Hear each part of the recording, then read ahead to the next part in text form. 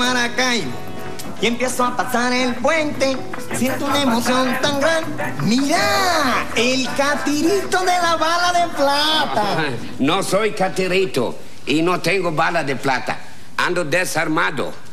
Bye pues. Venís a Maracaibo a buscar el petróleo, ¿verdad? No, no, he venido a Maracaibo a perfeccionar mi castellano. Mira, aquí en Maracaibo es donde se habla el mejor castellano, vos sabéis. Yo te ayudo, Catire. Oh, muchas gracias, muchas gracias. ¿Cómo es su nombre? Epaminondas. Epaminondas. ¿E-, ¿Es usted griego? ¿Estáis fresco el pidio? No, no estoy fresco. Hace mucho calor en Maracaibo. Mi nombre es John.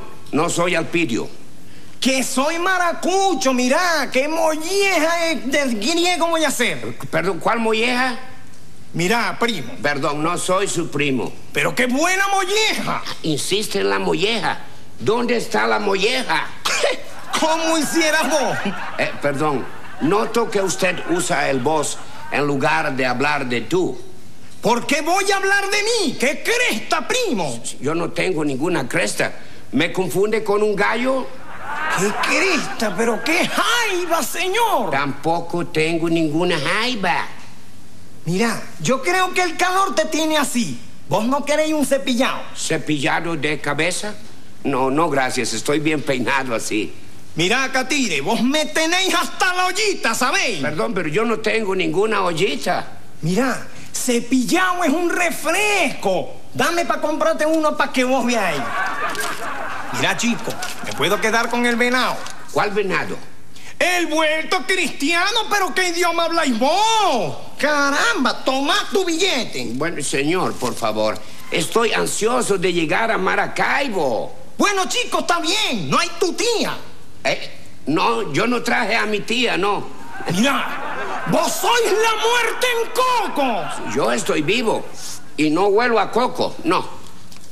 Las dos pasadas, yo estoy retardado. Yo tenía que ir al mercado en las chinas en el Moján. ¿En dónde? En el Moján. Ya voy esmollejado por el puente. Para que vos veáis. No entiendo nada.